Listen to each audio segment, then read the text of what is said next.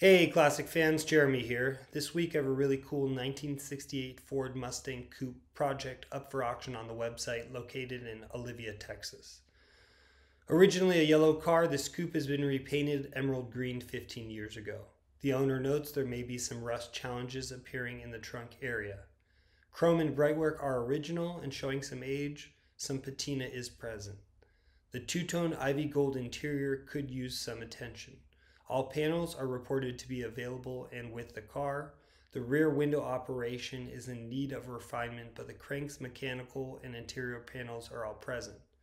Sun fade is noted on the front seats, and the gauges are operational, but dash wiring does need some attention.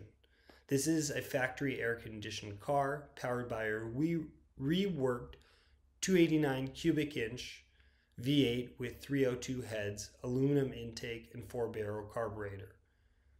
This Mustang is running a three speed manual transmission with a clutch that was recently replaced. Factory suspension and drum brakes complete the ride. A full independent pre purchase inspection has been completed and can be viewed on the vehicle listing page. Thanks for watching and good luck bidding.